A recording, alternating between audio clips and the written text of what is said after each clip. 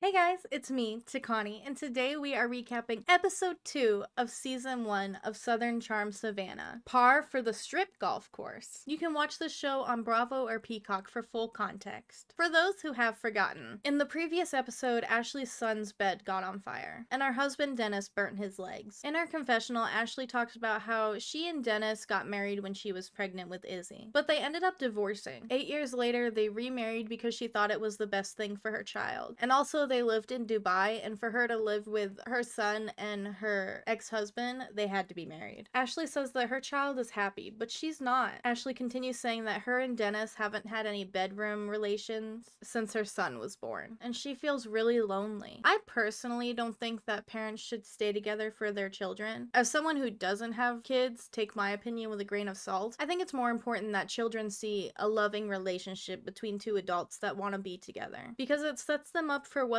they're going to expect in relationships going forward. But if this works for them, that's great. We cut to the next morning, returning to the house where the fire happened, and Dennis has bandages all over his legs. Apparently, the fan in Izzy's room caught on fire, which then set the bed on fire. Luckily, Dennis was able to put it out in under 10 minutes, but even that 10 minutes did so much damage to that room. Of course, after this, Ashley is understandably emotional. Dennis takes his time comforting Ashley and hugs her, and it's actually a really sweet moment to see. In her confessional, Ashley talks about how she always knew that that room had some bad juju. Then she talks about Savannah's past and all of the ghosts there yellow fever, slave mistreatment, and the genocide of the Native American community, and I'm sure much more. We cut to Happy and Azam hosting a dinner for Daniel and his date Amber. Happy and Daniel are practically siblings. Their parents dated for 10 years, so they grew up together. Happy talks about how some of her family doesn't support her relationship with Azam because he's a Muslim.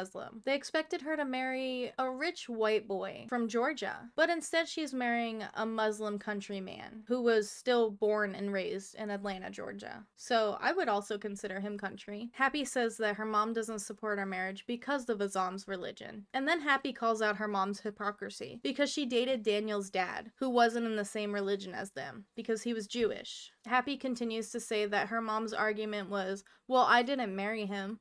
You were with him for 10 years. Who cares about a piece of paper? That's a long time to be with someone, to not consider them like your partner. I find it really annoying when people do the rules for thee but not for me stuff, because if you can be the exception, why can't other people be the exception too? But regardless, if your daughter wants to, what's the word I'm looking for? But regardless, if your daughter wants to convert to Muslim, she should be allowed to do that. And maybe Azam wants to convert to Catholic or Christian or whatever, and he should be allowed to do that too. Or maybe they don't. Maybe they both have their own religions, and that's fine too. It has nothing to do with anybody else. I don't really understand people's hang-ups on other people's religions. That's a conversation between the two people, and that's it. Anyway, Happy talks about how her grandmother has been super supportive of her relationship with Azam, and she's been there every step of the way. Happy says that her grandmother goes to church every Sunday and holds no judgment, and that's what it means to be a Christian. I think not judging people and allowing people to love who they love and marry who they want to marry is more about just being a good person. I mean, if it isn't hurting anybody, I feel like it's nobody's business. Anyway, we go back to Ashley's house and Hannah comes over for a visit. They talk about the fire and Ashley starts getting anxious, so they decide to go for a walk just to get out of the house. They drink champagne and sit in the park and talk. And Ashley explains her relationship with Dennis. Ashley talks about how it feels like their relationship is more platonic, and she just feels like she's rooming with a friend, and she feels lonely. Hannah also opens up and says that she wishes that Louis would grow up more, and she doesn't want to marry him until he does. After that talk with Hannah, Ashley, Daniel, and Louis meet up for some golfing. And despite Hannah literally saying, I wish Louis would grow up, Ashley suggests to them, hey, let's do strip golf. Ashley wins, so she makes the boys remove their shirt. Ashley then misses, so she has to remove her shirt, but she decides she's gonna remove her pants too.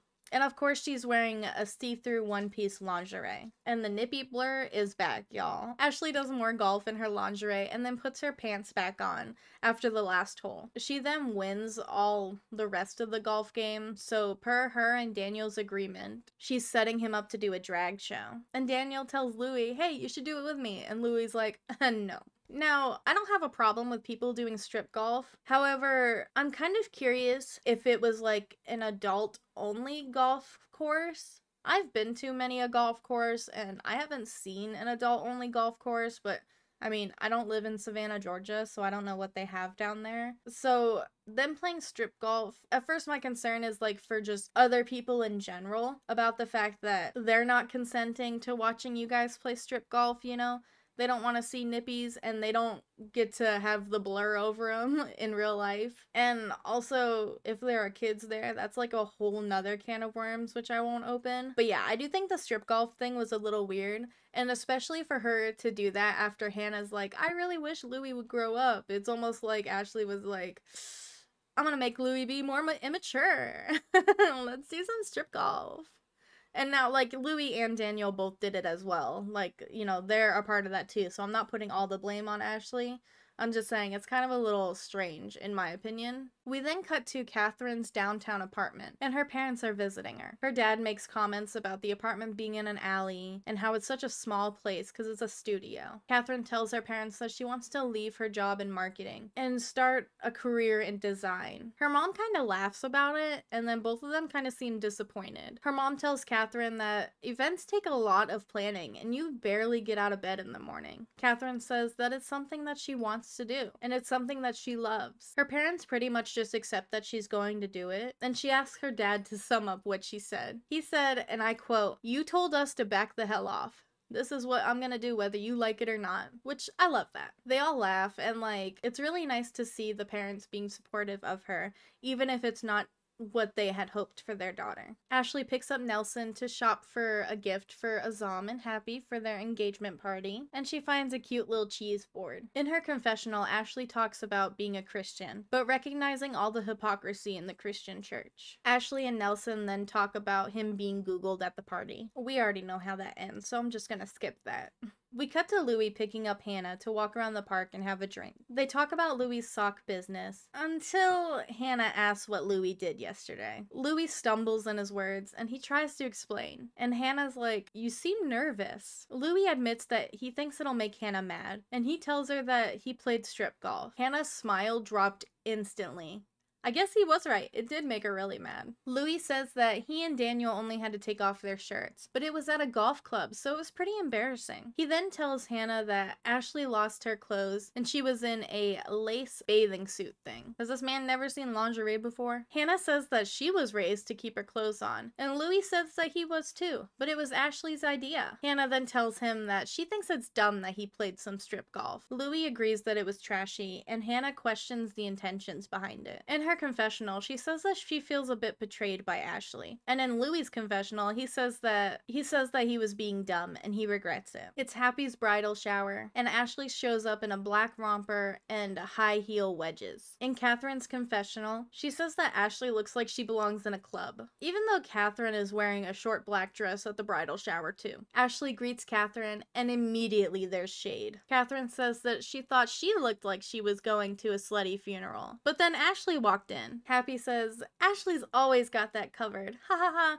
Just kidding. And poor Ashley looks like her soul has been absolutely crushed. Catherine and Hannah go outside and they bond over putting others first and not always pursuing what they want. Hannah talks about how her dad used to be her hero, but she saw him cheat on her mom and it changed everything. In her confessional, she says that she moved to Savannah for her job. And even though trucking sales isn't her passion, she wanted financial independence from her father. Hannah says she's grateful for what she went through because it made her independent. Ashley is then talking to Happy's mom. Ashley talks about how it's such a beautiful thing to have someone love you and love your family. And then immediately Happy's mom is like, Well, Happy can't have a cross in her house. Then she talks about being friends with Deepak Chopra, and Deepak told her that Azam is Happy's soulmate. For those who are curious, Deepak Chopra is an Indian American author, New Age guru, and alternative medicine advocate. Later, Ashley joins Hannah and Catherine outside. She talks about how she wants to do a cleansing in her house because the vibes just feel off. And immediately Catherine's like, the house or you? What the heck, Catherine? then Catherine's like, I have a hair appointment on Tuesday. So if it's on Tuesday, I can't go. Even though Ashley didn't even say a day yet or anything. Then they all go back inside. Happy opens her gifts and loves everything. And literally, I'm so anxious watching her open gifts because I hate when people watch me open things. It's so awkward. Ashley tells Catherine and Hannah that she went golfing the other day. And Catherine's like, Yeah, you were essentially naked on the golf course. And then Ashley replies, I didn't think it would get to that. What do you mean?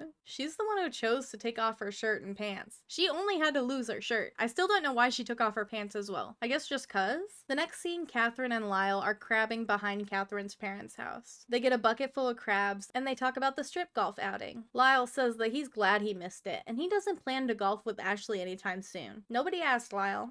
Lyle then talks about how he wakes up at 6 a.m. and how hard he's working so that he can afford Catherine's lifestyle. And he knows that she has a trust fund, but he wants to afford it on his own. Now we're at Hannah's apartment, and Hannah invited over Ashley for a little chit chat. Ashley comes in, they open wine, and Hannah immediately dives into the conversation. Hannah's like, Why did you suggest strip golf? Because after their conversation in the park, she didn't expect that. Ashley replies that Louis didn't do anything wrong, and she thinks that she didn't do anything wrong either. She apologizes that it upset Hannah, but it wasn't a big deal to her. Then she goes on about double standards. She talks about she talks about being proud of her stretch marks and loving who she is and wanting to show it off. and then in Hannah's confessional, she says, You had more plastic surgery than Pamela Anderson. And then she says that she doesn't believe that the whole strip golf and double standards thing has anything to do with feminism. Hannah tells Ashley that she respects her beliefs and values. And instantly. Ashley is like my beliefs and values have nothing to do with it. And she gets defensive. Hannah's like well it's not about that. And ashley tells her to be careful with how she phrases it. Then it ends on ashley saying i was not naked. Thank you for joining me on this recap of episode 2 of southern charm savannah. Do you think the strip golf was trashy or do you think it was just in good fun? Let me know in the comments. Make sure you like or dislike the video subscribe to the channel and i'll see you next video. Bye guys